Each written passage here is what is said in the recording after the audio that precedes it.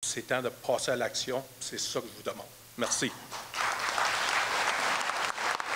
Le ministre de l'Économie, de l'Innovation et de l'Énergie, Pierre Fitzgibbon, était de passage à Témiscamingue pour assurer les citoyens sur l'avenir du site forestier Rioneer Advanced Material. On a un client stratégique qui est prêt à prendre le complexe, potentiellement.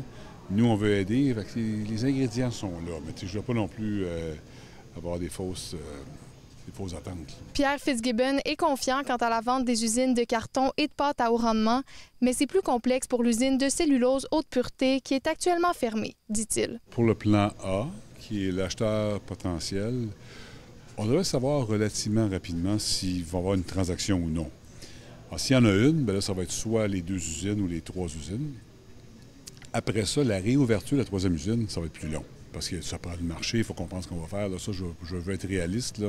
On, a, on, a, ça va prendre du temps. Le président de la section locale du syndicat demeure inquiet alors que les mises à pied des 275 travailleurs ont commencé la semaine dernière. Non, je ne suis pas encore satisfait. Euh, des solutions, c'est des solutions, mais pour moi, c'est plus des hypothèses.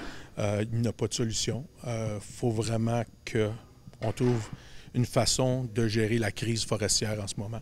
Euh, trouver un opérateur, travailler ensemble, c'est certain, c'est le but. Le scénario idéal pour les élus régionaux serait que les trois usines soient vendues ensemble. La grosse inquiétude, c'est qu'ils séparent le site. Il parlait d'avoir un acheteur pour une partie. Pour moi, en travaillant en silo, le site n'est pas fait pour ça. L'histoire semble vouloir se répéter pour la municipalité de Témiscamingue alors qu'un groupe d'intervenants locaux souhaite reprendre le contrôle du complexe industriel comme ce fut le cas en 1972 lors de la création de Tembec. Il faut qu'on prenne le lead localement. C'est ça qu'on va faire. Puis euh, on a demandé à la gouvernement pour nommer quelqu'un. C'est fait. je pense qu'on peut tasser ensemble pour avancer le projet localement. Il y en a du monde qui sont intéressés de Sophie Médiève-Larivard, RNC Nouvelle, à Témiscamingue.